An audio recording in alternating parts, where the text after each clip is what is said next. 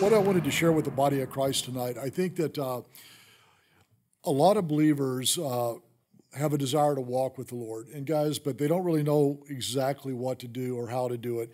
And there are some essential things that over the many years that I've walked with Christ that I, I know are essential to your walk with the Lord. And one is knowing the voice of God, knowing the will of God, and understanding how God speaks to you.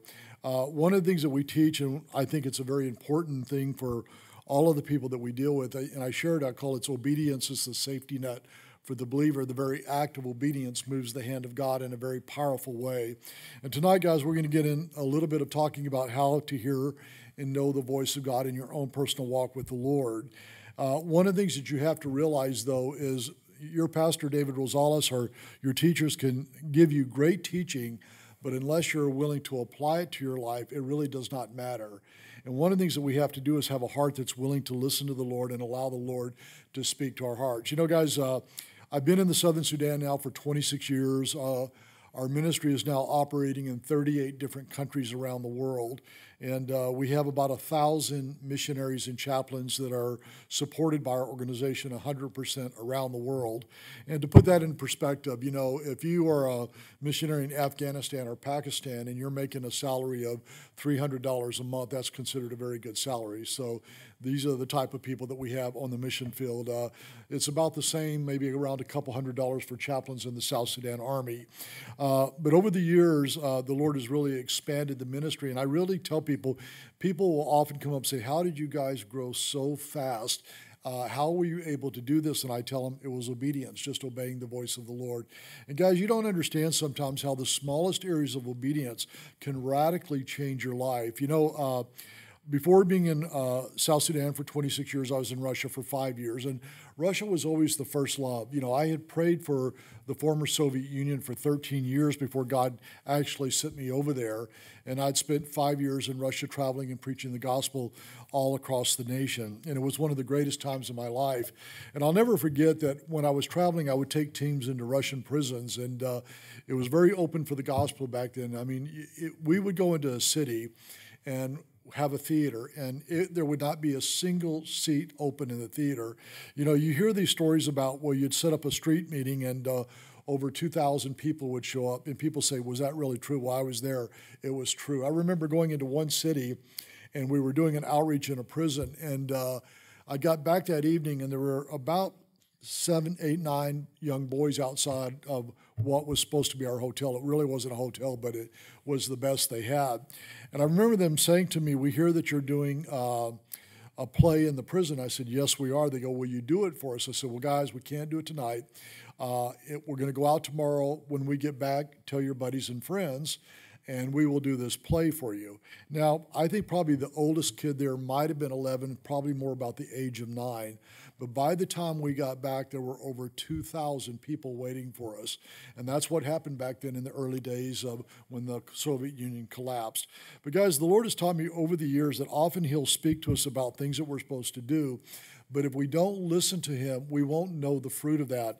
And I think one of the greatest lessons that God ever taught me in my life was uh, when I was in Russia, uh, I would take teams into the prisons and I would have I remember I had a young girl that was on several of my teams. I think she went on three different outreaches over the course of a year with me. And after the third outreach, she asked if she could sit down and talk to me, and I said, Of course. And I thought maybe she wanted to talk about missions or being a missionary or giving, uh, because that's what people did. You know, they would get uh, affected by what they saw and they'd want to talk about that. And I sat down with her and I asked her what she wanted, and she said, You know, Wes, if God would ever want me to be more than a sister to you someday, she goes, I would really like that. And guys, I, I, I was utterly stunned when she said this to me. One, uh, she was about 10 years younger than me. Uh, she was a tiny, petite little thing. I've always been a big lug of a guy, you know. And uh, her testimony was she was into chocolate chip cookies and swing sets. And at the age of six, she decided to give up that reckless life of sin and turn her life over to Christ. And uh, so she had a very innocent life. She told me she'd never been with anyone. And uh, at first, I really thought that I was going to marry this girl. And uh, she was a wonderful Christian woman, very, very sweet, had a real heart for the Lord.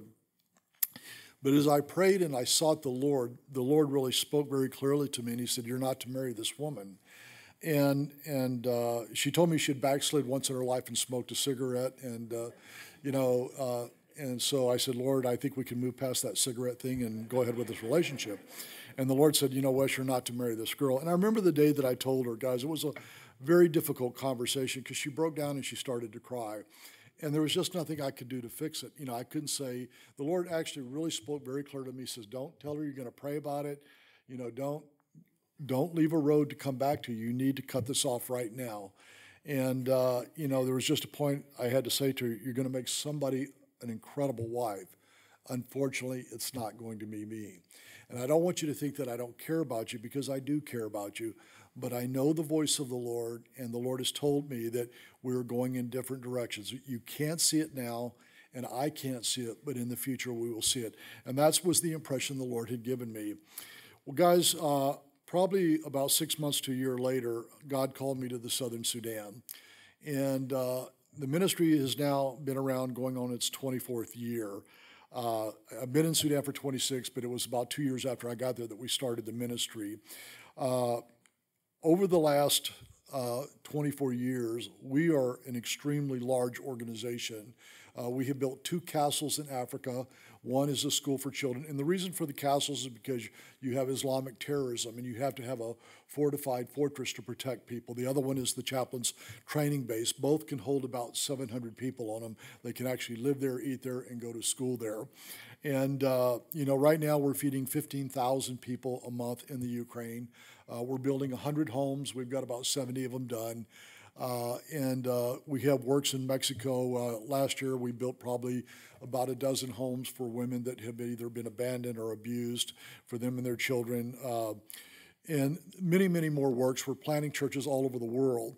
But maybe about six months to a year after I got into the South Sudan, this young girl called me on the phone.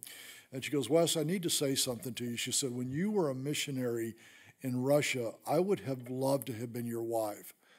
But when I heard that you were called to the Southern Sudan, she said, I had a real fear in my heart. She goes, I knew the way that God made you, and I knew that He made you for something like this. And she goes, I have to be completely honest. I could have never handled being your wife in the Southern Sudan. And guys, I think about the fact that had I been disobedient and not obeyed the Lord, would I ever have known what I missed? All the ministry that's taken a place around the world. And uh, it's interesting because I met my wife Vicky in Africa, and uh, Vicky has been an absolute tremendous helpmate to me. People find it very hard to believe, but in all the years that we have been married, we've never had a serious argument. I mean, all couples are going to disagree and they're going to argue, but we've never had one of those knockdown, drag out arguments. And the reason why is because both of our hearts are set upon ministry. There's not a day that goes by that my wife doesn't tell me four or five times how much she loves me. And she is an absolutely a, a fanatical student of the word. Uh, uh, she just came off the field after 23 years of serving in the South Sudan. Uh, with all the work exploding around the world, uh, she felt it was time to come home and help in other areas. And at the time, she had 13 women's Bible studies going a week. Every single study was a different study. I would say, Vicki, why don't you teach the same one. You've got 13 different groups of women. They haven't heard it. And she goes, No, that's not the way the Lord. So she's in the Word about seven, eight hours a day. And guys, um, I really know what it means to have a tremendous helpmate. Now, the other girl probably would have been a wonderful wife and probably been a wonderful helpmate, but she wasn't designed to serve where I was at. And had I disobeyed the Lord, I would have never known. Another situation that happened to me many years ago was. Uh, before we started Far Reaching Ministries, I worked for another mission organization. It was called Safe Harbor, run by Pastor De, uh, Gary Kusunoki. And guys, uh, my job in the early days of the ministry, uh, Sudan was a very radical war zone. And uh, because of my military background, they would fly me into the bush about two weeks before pastors and doctors would go in and they would drop me into the bush, and I would go out and I would do a reconnaissance of the area. I'd find out where the enemy was, how many of them there was, what their troop strength was, what the danger element to our people was. When I knew it was safe, I would radio out and tell them to me bring in uh, the main body of the team, and then I would continue to run patrols to make sure that we did not get attacked while we were on the ground. And uh, one of the times I was over there, I came down with a case of malaria, and it wasn't overly severe, but I've probably had malaria between 35 and 40 different times. Uh, three times it's put me in ICU, and almost killed me. And uh, but you know, I, I, had malaria and I wanted to go home. I was very tired. You know, Sudan is an extremely hot country. It's not only hot; it's extremely humid. And you, you know, uh, you sleep out of exhaustion. You don't fall asleep feeling comfortable. You literally sweat all night long. And I hated being in there. And uh, you know, when you're in the Sudan and you're among the tribes. Uh, Sometimes they bring you food that's cooked and dead, and sometimes they bring you food that's not dead. And uh, I remember one night they brought us a basket of live bugs for dinner. And I know that God speaks to people because I was with five Calvary Chapel pastors, and every one of them told me that God told them they were supposed to pray and fast that evening, you know. so God really does speak to people. And I prayed about it, and I said, Lord, do you want me to pray and fast? And the Lord said, No, I want you to eat the bugs. And uh, you know, you pick they they're called flying ants, but you they look like kind of like the wings of a dragonfly. You pick them up and you pluck the wings off, and you put them in your mouth, and they kind of walk around inside, you know. And you bite down on them, and they're kind of crunchy on the outside and chewy on the inside, and they don't taste anything like chicken at all, you know. And uh, but I'd, I'd come out of the Sudan, and uh, I had malaria, and I wanted to go home, guys. I really did. All I wanted was clean sheets I wanted uh, something that was cold, like a cold Coca Cola, and something that resembled American food. And uh, I remember that uh, when I got into uh, Nairobi, Kenya, to our guest house, uh, the water heater was broken, so we had no water for hot showers. We had no water for clean sheets, and uh, and and I had a brother coming in by the name of Bill Ages. Bill served with us in those days, and Bill knew my job, and so I was going to go and I was going to ask Bill, would you mind finishing the last two weeks for me? And, uh, and I started to do that, but the Lord told me to go and read the book of Colossians, and I read the book of Colossians. I get to the second to last verse, and it says, Tell Archippus to finish the work for which the Lord has sent him to do. And guys, when I read that verse, it came off the pages, and I knew what the Lord was saying. He's saying, Don't leave, finish this work. Well, on the trip, uh, because of my security thing, uh, they flew in four men uh, from America, and you know my job was to make sure that we knew how to get them out in case we got attacked. And uh, one day, uh, they told me to take these four guys and uh, fly to the city of Yei. Yei was under siege by the Northern Army, and they wanted to get video and testimony and then bring it back and hopefully get it on the news stations to tell the world what was happening in the southern Sudan. And uh, as we were flying towards the city of Yei, um, the navigator came back and he said, They're bombing the city as we're coming in. We're going to turn around and fly to Lokichokio. Now, Lokichokio was in northern Kenya. And, and for those of you who saw the movie Lion King when you were young or you watched it with your children, if you remember seeing Pride Rock, that's actually Lokichokio, Kenya. It really exists. But there's a big UN base there, and you know they have these nice tents, they have hot showers, they have a buffet every night, they have clean sheets, and they actually have a fan in your room so you can kind of keep cool at night. And I was actually pretty excited about the fact that at least I was going to get a hot shower and get my clothes washed. And as when we flew in and landed, um, one of the brothers that was on the team, and they'd given me a briefing about this guy. And I remember what they actually said to me. They go, they were kind of telling me about each person, and they got to this guy and they said, "Well, he's kind of a computer nerd." Which I didn't know exactly what that was supposed to mean, you know. And so when we landed, he came up to me and he said, Wes, can I room with you tonight? Because we had to have two men to a tent. And in all honesty, guys, I really did not want to room with this guy. I wanted to be able to uh, be alone with Michael. Michael was a Sudanese brother in the early days of being in Africa, Michael and I went all across the Sudan together, up mountains, down mountains. We got shot at, we got bombed together, we ran into crocodiles, we ran into lions. We, we did everything together. We were good friends. And, uh, but I felt like I had to be polite, and I kind of go, yeah, you can room with me. Well, guys, something had happened just before we got there. Um, I'd had a guy come in one day, and uh, he asked me to come and share with the soldiers, and I did. And we went out and we shared. And I won't get into the story, it's a long story, but we led about 150 uh, South Sudanese soldiers to the Lord. And uh, I'd gone to the mission director and I said, I know what's the problem with this country. They do not have a moral compass. So I said, we need to start a chaplaincy so we can train the soldiers how to fight because what the Arabs are doing to them, they're doing right back to the Arabs. You know, they're doing all the atrocities, and we need to make them understand that fighting and killing is a part of warfare, but murder, rape, pillaging, and plundering is not. And they had said to me, they go, Wes, we do not feel led to work with the military. If you want to work with the military, you have to leave our organization. And, you know, guys, we left on good terms. I said, guys, I'm not against you. I love you. This isn't a split for the sake of having a split, but I really feel like the Lord is telling me that I'm supposed to start a chaplaincy program. Well, when I got in the tent with this night, that guy, you know, guys, we stayed up to probably midnight talking. We had a lot in common, uh, actually, much more than I thought. Nothing about computers, but other areas we had a lot in common. And around midnight, he says, Wes, do you know anything about my life? And I said, Well, I know you're into computers. He goes, No, not that. He goes, I was in investments and I retired at the age of 40. He goes, I would like to write a check for you and your children for 20,000 American dollars. Now, guys, when he said that to me, I, I didn't know what to say at first. And I looked at him, I said, Brother, I need to say something to you. I said, There's a lot of myth about my name. I said, uh, You know, people call me Crocodile Dundee and Indiana Jones. And I said, There's no truth in it. I said, At the time, I said, I'm a 40 year old man and I'm probably 40 years old, overweight. And I call this my hope chest. Someday I hope it'll be my chest. And, uh, and I said, I want you to go home and I want you to pray about it.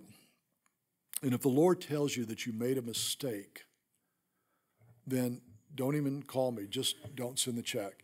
And guys, one of the things that's really important, a lot of Christians I've noticed manipulate things. They go out there and tell people their needs in the hope of getting something. Well, if you do that, you'll never know if it's the Lord. And I, and I needed to know it was the Lord. Well, right after that had happened, we'd had that talk about I had to leave the ministry. And I remember the when I got back to America, I was in my kitchen one day and I was thinking about the fact that I had chose to leave them, and I thought to myself, "What are you doing? How are you going to start a foreign mission organization? You don't even have enough money hardly to take care of yourself." These are the things that are going through my mind. And then I just said in my mind, I go, "It's going to take at least forty thousand dollars to get the mission off the ground. Now, guys, it would take far more money than that, but that was as big as I could think. Well, I get a call from this brother that night, and I hadn't talked to him for weeks. And he goes, I hear that you're having a dinner party at your house. I was inviting over some Calvary pastors. I said, Yeah. He goes, Do you mind if I come over and crash it? I said, No, come on over and crash it. And so we got out all the cowboy steaks and we cut them in half and made cowgirl steaks out of them. And, you know, guys don't like cowgirl steaks, but in a pinch, that's what you got to do because he brought over about an extra five people with him. And guys, we had a great night of fellowship, but at the end of the night, as he was leaving, he handed me an envelope. And uh, when he handed me the envelope, you know, I thought he probably feels guilty for not giving me that $20,000. In my mind, I really thought there's probably $500 there. I actually didn't open the envelope right away, and one of my friends goes, Wes, you better open that envelope. Well, I opened the envelope, and there's three checks in there. One is written out to me for 20,000 American dollars but there's two blank checks each for $20,000. And I thought, Lord, I prayed for $40,000 this morning and you've already provided it. I was so excited. The next morning I got up and I wrote Far Reaching Ministries on the checks and I went down and I deposited them. And right after I deposited them, this guy called me up. He said, um, You're probably wondering why I left the two checks blank. I said, Well, I assume they're from the ministry. He goes, No, brother. He goes, this is if you want to send your kids to college someday. Uh, there's $20,000 for each of them. And I said, Well, brother, I made a mistake. I said, I thought it was for the ministry. I've already deposited the money. He goes, Well, don't worry about it. I'll just send you another $40,000. and uh, about a month later, guys, he gave me a quarter of a million dollars. The next year, he gave me a half a million. And in the early stages of the ministry, the money that we needed, we got. Now, I think about the fact had I got on that airplane and had I left and not listened to what the Lord had told me, I would have never known what I missed. And many of us, we're in a place in life that things aren't going well. We made decisions without trusting the Lord. We haven't listened to God's heart. And guys, I, I know there are people that are married and they're not happy in their marriage. And the the solution isn't to get out of your marriage. That's not the solution. The solution is to obey the Lord, to seek God and ask Him for wisdom about what to do. And when you seek the Lord, the Bible says, if you diligently seek me, you will find me. But it's not casually, it's not occasionally. The Bible says, if you diligently seek me, you will find me. And there's a real truth in that. And uh, I've learned over the years that when I don't know what to do, just to pray. And if I don't hear from the Lord, then I'm supposed to wait. You know, the Bible says everything with supplication and prayer, make your petitions known to God, and the God of peace will guard your heart and your mind in Christ Jesus. And so we seek the Lord for wisdom in what we're supposed to do. Now, guys, a part of knowing how to know the voice of the Lord is the Bible tells us, you know, in 1 Samuel chapter uh, 1 Samuel chapter 3, let me turn to that. We have the first instance of talking about hearing the voice of the Lord. And in verse 1 it says, "The boy Samuel ministered before the Lord under Eli. In those days the word of the Lord was rare." There were not many visions. One night, Eli, whose eyes were becoming so weak that he could barely see, was lying down in his usual place. The lamp of God had not yet gone out, and Samuel was lying down in the temple of the Lord where the ark of the Lord was. Then the Lord called Samuel. Samuel answered, Here am I. And he ran to Eli and said, Here am I. You called me. But Eli said, I did not call you. Go back and lie down. So he went and lay down. Again, the Lord called Samuel, and Samuel got up and went to Eli and said, Here am I. You called me.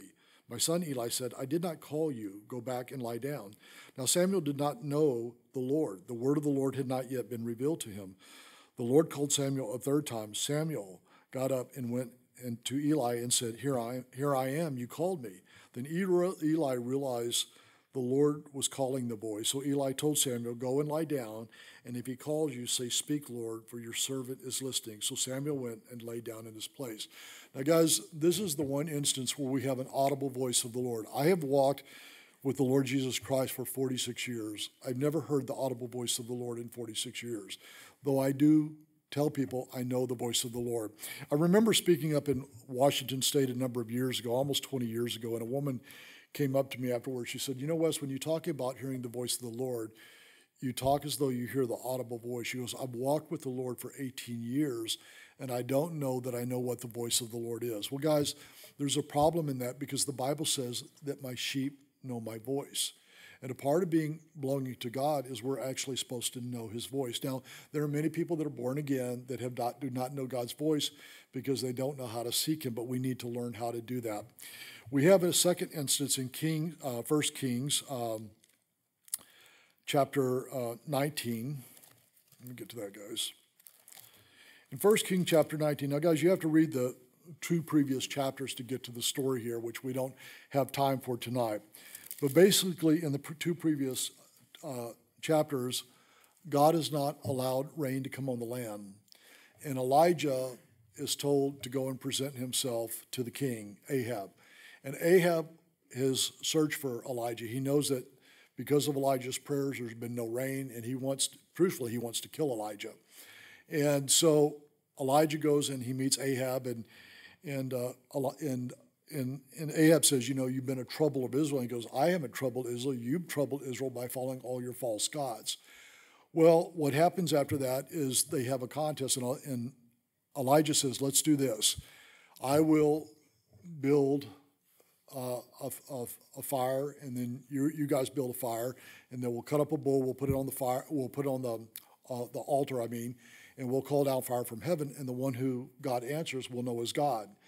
And that's exactly what they did. Well, of course, God brought fire down and burned up the altar, and then all 450 prophets of Baal were put to death. Now, the interesting thing about this story, guys, and you really need to go home and read the two chapters. Like I said, we just don't have enough time to go over it tonight was that Elijah just wiped out idolatry in Israel. But then Jezebel, the queen, who is a great and wicked woman, sends a message to Elijah and she says she's going to kill him. And all of a sudden, he becomes afraid. Now, if I had just prayed and asked the Lord to bring down fire from heaven to destroy 450 prophets of Baal, and someone contacted me and said, Hey, I'm going to come and kill you, I'd say, Trust me, there's more fire up there. You know, but and you think this is what should happen, but what happens with Elijah, he becomes afraid. And guys, one of the things I've learned over the years in ministry, um, when we know how to deal with a battle in our skill set, we're very comfortable. But when we don't know how to do a battle because it's outside of our skill set, like one of the things that took me by surprise when I first became a missionary is that people would make up stories about me. I remember somebody went to my pastor of my home church and told him that uh, I guess there's a movie out there called Lord of War about some guy that was smuggling arms into uh, all over the world. And he was telling my pastor this movie is based on Wes's life. So my pastor calls me into my, his office. He goes, I hear that you're smuggling weapons into South Sudan. I go, I go, you're right. He goes, what? He goes, what are you smuggling? I go, Bibles, you know. And but at first I didn't know how to deal with it because people, I mean, just literally making up lies, and it unnerved me a little bit. Now, other things that aren't my skill set don't unnerve me, but I had never dealt with that before. And I think that for Elijah, he just wasn't used to this. And in chapter 19, it said, Now Ahab told Jezebel everything Elijah had done and how he had killed the prophets with the sword. So Jezebel sent a messenger to Elijah, say, May the gods deal with me ever so severely if by this time tomorrow I do not make you like one of them. Elijah was afraid and he ran for his life. When he came to Beersheba in Judah, he left his servant there. While he himself went a day's journey into the desert, he came to a broom tree, sat down under it, and prayed that he might die. I've had enough, Lord, he said. Take my life. I am no better than my ancestors. Then he lay down under the tree and fell asleep. All at once, an angel touched him and said, Get up and eat. He looked around, and there by his head was a cake of bread baked over hot coals and a jar of water. He ate and drank and lay down again. The angel of the Lord came back a second time and touched him and said, Get up and eat, for the journey is too much for you. So he got up and ate and drank.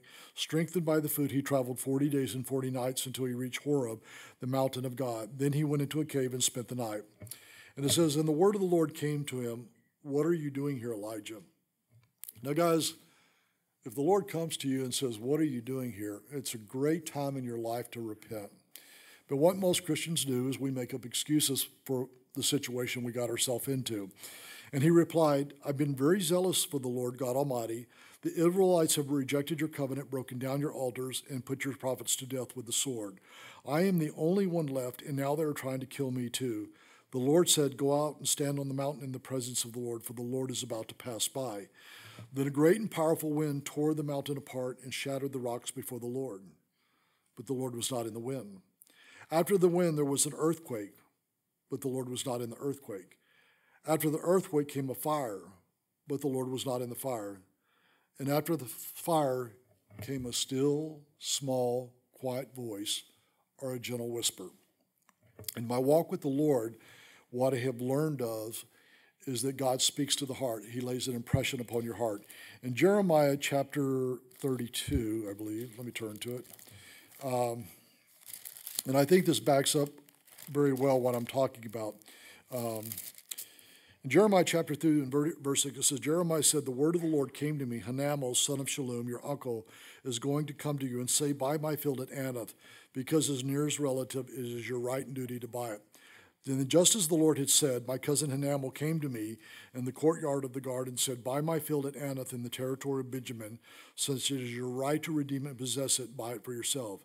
I knew that this was the word of the Lord, so I bought the field. Now, guys, what happened here, it seems very apparent that Jeremiah had an impression on his heart. Your uncle's going to come to you and say, Buy my field. And then he says, And then my uncle came and said, Buy my field. And he said, And I knew it was the word of the Lord. And in my own personal walk with the Lord, I found that's happened quite often that God speaks to us very clearly through the Word. Uh, in the early days of being in Sudan, uh, I'd come home from being in the field over the summertime, and guys, it gets really hot there. And I remember that when I came home, I called Gary Kusunoki up. I said, Gary, I said, I've been in the Sudan for a long time. I'm tired. I'm, I'm worn out. You know, uh, I said, I don't want to go back for at least a couple months. And I was very clear about it. Well, the very next day, Gary called me on the phone. He said, Hey, can you come down for a meeting? So I got my car and I drove down to meet with him. When I got down there, he said, I need you to go back to Sudan. And I looked at him and I go, Why do you need me to go back to Sudan, Gary? He said, The North has launched a massive offensive and they've displaced thousands of people. There's a village called Tonj, and there's nine to 12 people a day that are starving to death and I need you to go back there and run operations. And I go, when do you want me to go? And he goes, today. I go, Gary, I can't go today. I said, I'll call you tomorrow. So I went home that night, guys, and I went to sleep. And the thought of going back there did not appeal to me at all. uh, I next morning I got up and I went in my kitchen and I made a cup, cup of coffee and I had my Bible closed and I was praying and as I was praying I just you know and I, I used these exact words. I said, Lord, do you want me to go to your hungry and oppressed people? I said, You know how hot it is this time of year, and you know how tired I am. Well, at that moment, I opened my Bible and my eyes fell to this verse, and it says, And if you spend yourself on behalf of the hungry and satisfy the needs of the oppressed, then your light will rise in the darkness and your night will become like the noonday. The Lord will guide you always, and he will satisfy your needs in a sun scorched land, and he will strengthen your frame. Well, guys, you can't get much more of a direct answer than that. But at that moment, I heard somebody slide something under my front door. And I, and I went over and I looked, and there was an envelope under my door. There was a young girl that used to come and interview me many, many uh, over 25 years ago her name was Amanda Sash, very sweet Christian woman. And so I went over there and I picked up the envelope and I opened it. And inside there was a bookmarker with these exact two verses on it. Well, at that point, I knew it was the voice of the Lord. So I got on an airplane and I flew back to South Sudan. When I got there, I had to drive to uh, to the city of Yei. And guys, uh, for at the time, you had to drive about five hours on what were semi-paved road. There was a lot of potholes, very difficult drive. And then you would hit a dirt road, and we used to call it the Badlands because when you would travel down these roads, there were destroyed vehicles everywhere. The, there was a group called the LRA, the Lord's Resistance Army, and they massacred people all the time out there. Well, I was looking for a guide to take me because I'd never gone up this road. And for three or four days, I'd look for a guide, and there was a brother by the name of John. He was a Ugandan pastor, and we could not find any. I was paying like two or three months' salary for uh, two weeks' work. Nobody would take it because it was too dangerous. And uh, so I finally said to John, I go, John, I said, uh, I'm leaving tomorrow, whether you can find someone or not, I've got to leave. And I could tell that he was troubled because he was worried for me. And so I went to my room, and literally at 10 o'clock that night, there was a knock on the door. And when he knocked on the door, I have to be honest, I was a little bit concerned because there had been a murder in that hotel like the month earlier. Some woman had been killed. So, you know, I went, I, got, I had a big old crocodile knife, and I got the knife and kind of peeking out the door, and it was John. And he said, and I, I realized it's John. He goes, I've got this brother named Anthony, and he's willing to go with you. And I said, Anthony, you know where we're going? He goes, Yeah, I know where we're going. And I said, You know how dangerous? He goes, Yeah, I know how dangerous it is. Well, he was willing to go with me. I said, Anthony, I'm going to leave at 5 o'clock tomorrow morning. And if you're not here, I'm going to leave without you. Now, guys, I was actually shocked because he actually showed up. I mean, Ugandan time is kind of like Calvary Chapel time. You never really know when they're going to show up, you know. But sure enough, 5 o'clock in the morning, he was there. and I go, Anthony, do you know the way to Southern Sudan? He goes, Yeah, I know the way. Well, 45 minutes after we left our hotel, we drove past the front of the hotel again. And I said, Anthony, I don't think you know the way to Southern Sudan. He goes, No, I made one mistake, and that was the one he made. Well, guys, we finally get to that dirt road, and Anthony was sharing about his life. He had come down that road a year earlier. There was a military convoy. They had three buses, and they had military vehicles in front and back, and they were driving in the middle of the night. And he said the first thing that we knew was an RPG hit our bus and exploded. And he said it hit right in the center of the bus. It blew up. He said people were on fire. The bus was on fire. He said machine gun fire was coming in from every direction. And, uh, and him and another guy opened the back door of the bus and they just took off into the bush. And he said you could hear people dying and everything. And he, he said we ran about a half a mile in the bush. We came up over this little berm and we ran into a full grown male lion.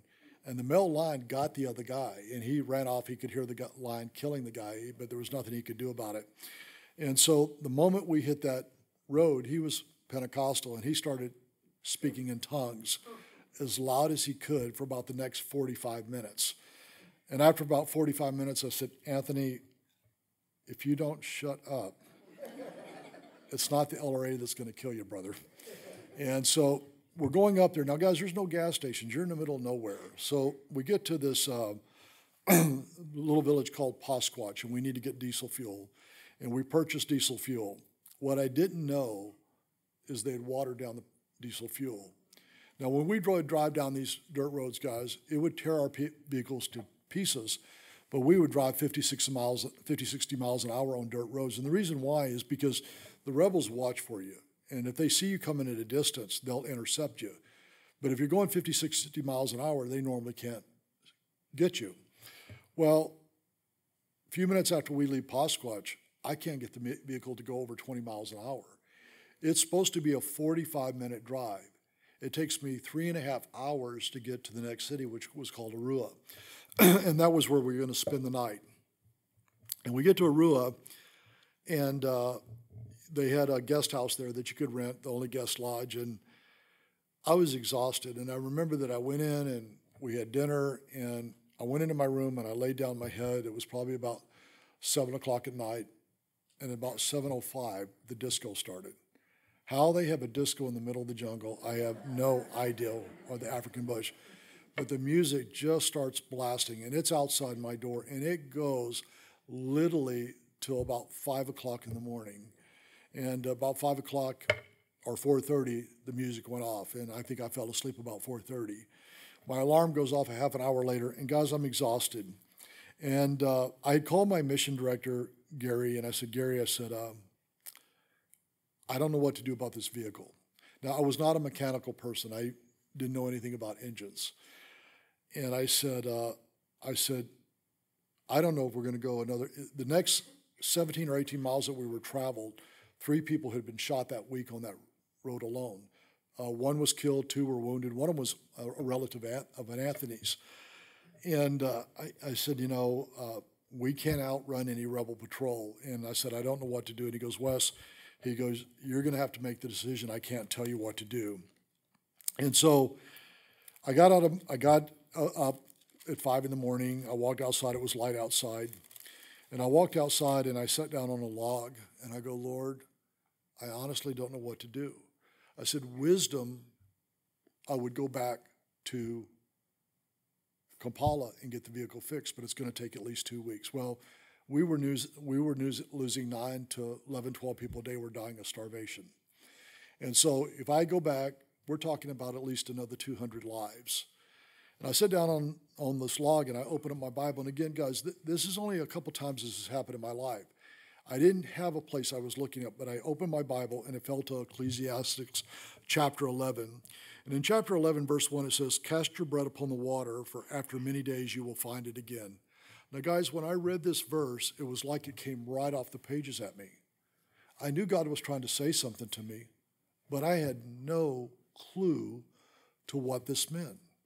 Cast your bread upon the water, for after many days you will find it again. I mean, what does that mean? You throw a sandwich on the water, and a week later you get a wet sandwich, you know? And but fortunately, there was a commentary in the bottom of my Bible, and it says, "Be adventurous like those who accept the risk of seaborne trade." do not always play it safe. And what they're talking about is in the time of old, if you wanted to make a living, you had to sail across the seas and the ocean to trade. Now, there was a risk of your ship sinking and dying, but if you didn't do it, you couldn't make a living. And that's exactly what the verse said. You can't always play it safe. Well, the end of the story is, of course, we got there, we didn't get ambushed, and we carried out the operation. We're able to save thousands of lives. And uh, this is what I want to share with you guys is that as the word does say, if you diligently seek me, you will find me. Guys, if you're serious about the Lord, God is going to be serious with you. He's going to speak to your heart. The Lord is looking for people that have a heart after God. The Bible says, I look to and fro across the earth to find a man or a woman that has a heart after me. Uh, in my experience on the mission field, I probably get nine women applications for every male that comes. Men don't have a heart to minister, they don't like hardship. I'm amazed at what so many women are willing to do for the gospel. And I think it speaks very much of the times that we're living in. We're teaching men to be effeminate, to be soft, to be weak. Men were not designed to be that way. We were never supposed to be like this. But because of it, it's really affecting the world. And, you know, I've had people tell me oh, when I was on the mission field once, I had a, a woman that was pastoring in a certain area. And a, a Calvary guy came up to me and said, Wes, you got a woman doing man's ministry. And I go, You're right. And I said, And as soon as you can get a man over here to do it, I will replace them. But I will not, not have someone share the gospel because we can't get a man to come to this part of the world. And the truth is, nobody ever did come. Everybody did. And that woman did a great job of leading people to Christ. Um,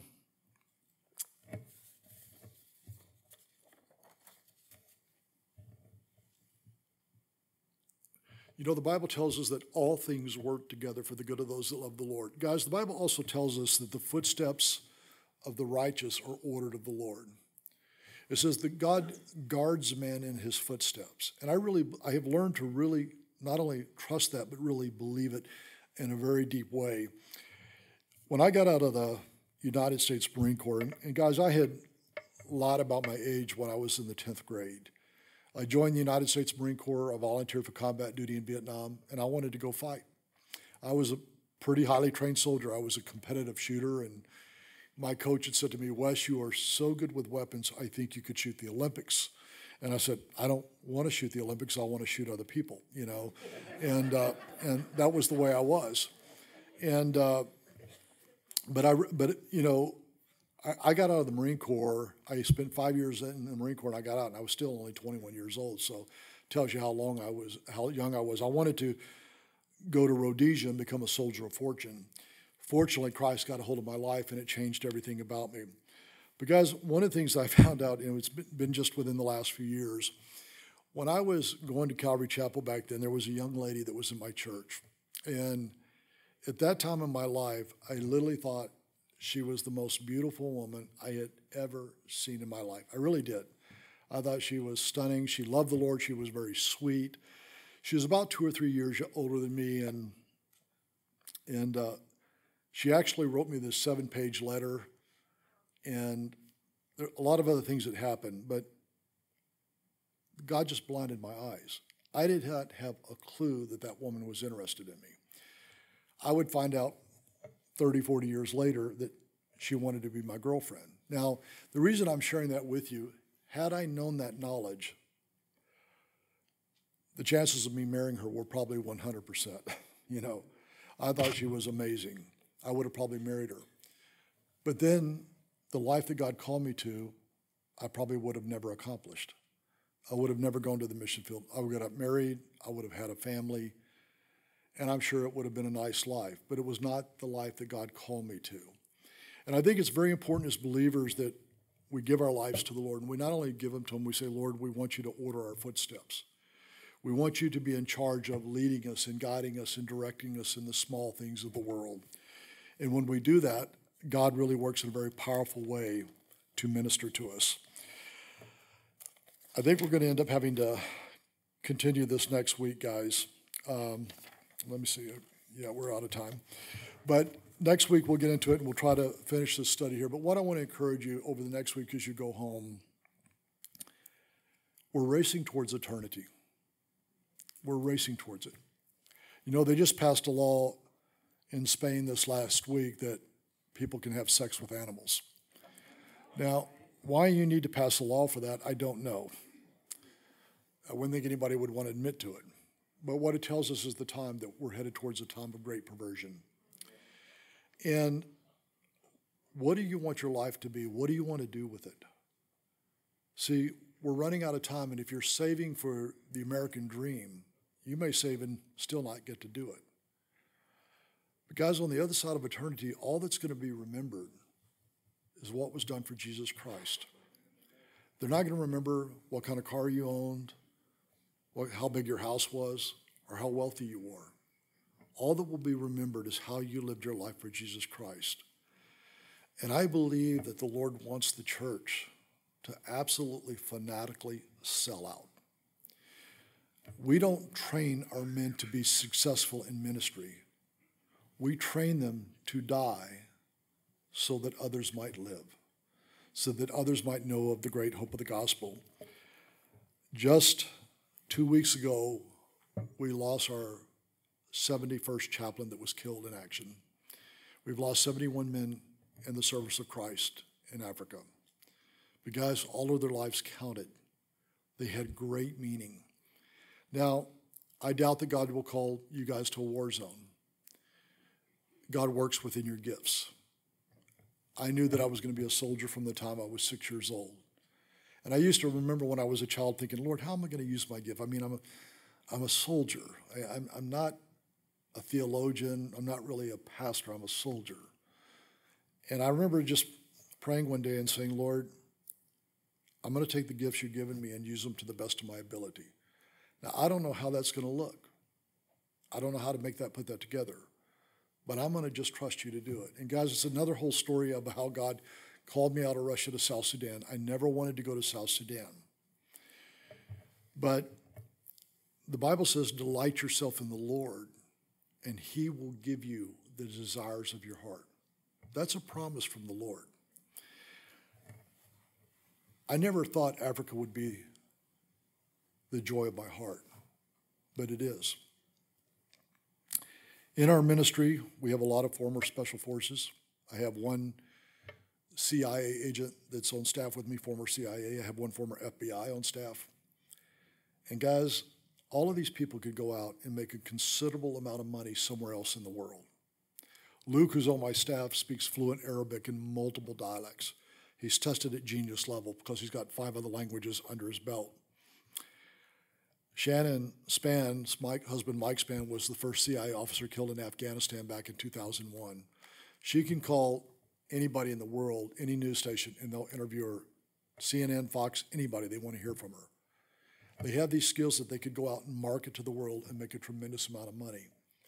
But one of the things that I love about them is they realize this is all wood, hay, and stubble.